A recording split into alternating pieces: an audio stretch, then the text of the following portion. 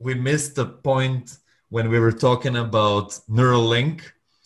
We were doing the intro, and you didn't talk about how it will be used at the start uh, for fixing people's damaged. Um, of course. Bodies. Please, yeah. Please. Do, do I? Uh, well, yeah, obviously, Neuralink, if you're tapping into your brain and you have some kind of um, spinal damage or a neurological issue, uh, if and, and I also didn't talk about how exactly it works. Like it's it's pretty revolutionary. Brain implants historically. I don't know if you want to take this part and edit it back into that part of the, the we'll show. It, yeah. Yeah, but uh, brain implants historically have been, um, I mean, really impressive devices, but kind of uh, a blunt instrument in terms of the delicacy and intricacy of brain matter versus the uh, sensitivity and granular resolution of what these probes that that are still being put in brains can do. They're kind of like a metal spike with an electrode in it, and you stimulate a large portion of the brain, and that kind of almost fingers crossed will trip the right circuits in that area. That's with uh, electricity, right? Yeah, with electricity, because the brain is an electrical yeah, yeah, yeah. organ. Um, it's it's electrochemical. You have chemicals that conduct electricity in different ways, and that's how you kind of put together the um, the codec of thought, if you will. Um, what uh, what what Neuralink is doing is shrinking that whole concept down to tiny wires that are, uh, I think, like a tenth the diameter of a human hair or less, uh, and putting tens or hundreds of them in a very small area like tendrils. Yeah it's they they developed this robot that's really cool.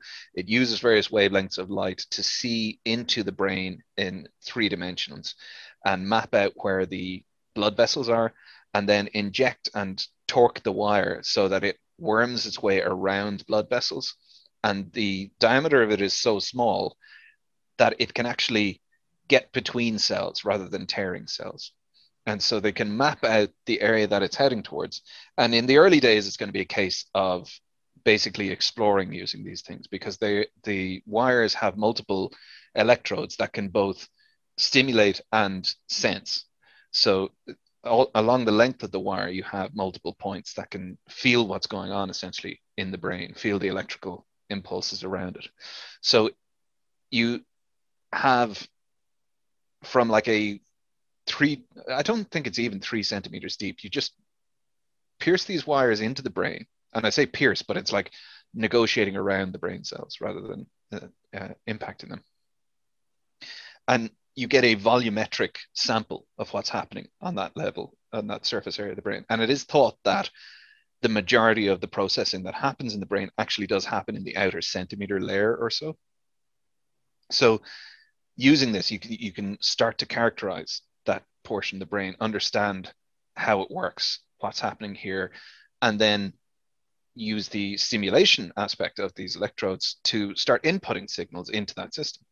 So if you implant it somewhere in the visual cortex, you can start to put information into the visual field of the person who's been implanted, or you can record what they see, uh, or potentially you can record their dreams. Uh, and there have been there have been experiments that have done this on a very low resolution level already. Uh, and in terms of sensory input being read by a computer, the Neuralink company themselves have already implanted Neuralinks into various pigs. And they demonstrated one pig who had the uh, nasal nerve endings being monitored by its Neuralink implant. And as it was snuffling around at the, at the, um, the food in its trough, it was producing music from the different uh, output from the Neuralink chip. But it's that's still a case of finding out what's what in the brain because we're absolutely ignorant. Despite all of our neurological knowledge, we're still in the dark about 99% of how the brain works. And so Neuralink will learn how it works and then we'll be able to use that knowledge to do stuff like correct neurological disorders. Uh, some electrical signal is not going where it needs to go in the brain and that's producing some kind of physical defect or behavioral effect. You bridge that gap using Neuralink. You've broken your spinal cord. You you can intercept the commands that would normally go down the spinal cord within the brain using Neuralink and then shunt them to a device past the break in the spinal cord to bridge that gap as well. And you've you've you've enabled a paraplegic person to walk. Yeah. Uh, I mean, it's it's crazy. It's it's really incredible. Uh, and then you've got applications like the ultimate VR experience. You uh, you can tap into all of your senses. You can see, taste, touch, and smell the virtual world.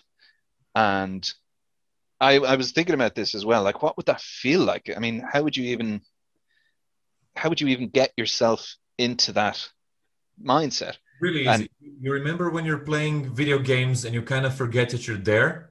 Yeah. So imagine that having all the time. Like I, I feel like it'll be exactly that way. That's or, exact exactly the, the realization I reached. And the, the metaphor I, I went for was it'll be like putting your hand in a glove.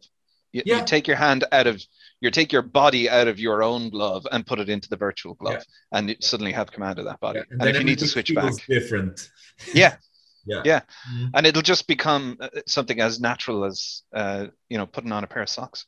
Hey thanks for watching this video. If you want to see the full version go to the uncle gold podcast youtube channel or watch the next clip